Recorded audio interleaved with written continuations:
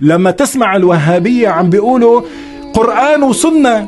ما تقلنا مذاهب؟ لا ما تقلي الشافعي وأبو حنيفة وأحمد ومالك. تعرف ليش؟ بيقول لك قرآن وسنة. لأنه أصلا علماء المذاهب الأربعة هول اللي هن على راسنا وعيننا هم يخالفونهم وعقيدتهم تكفر عقيدة الأئمة الأربعة من أهل السنة والجماعة.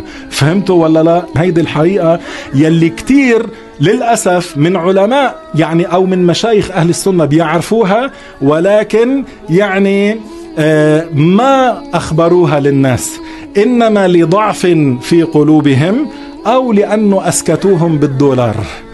أما أولئك الدعاة إلى الله الذين لا يشترون بمال الدنيا ولا بذهب الدنيا هؤلاء يقولون الحقيقة ولا يخافون في الله لومة لائم. وان شاء الله تعالى أنا منهم وأنا تربيت في جمعية هي تعلم الناس إنه ارضوا الله ولو بسخط الناس ولا ترضوا الناس بسخط الله.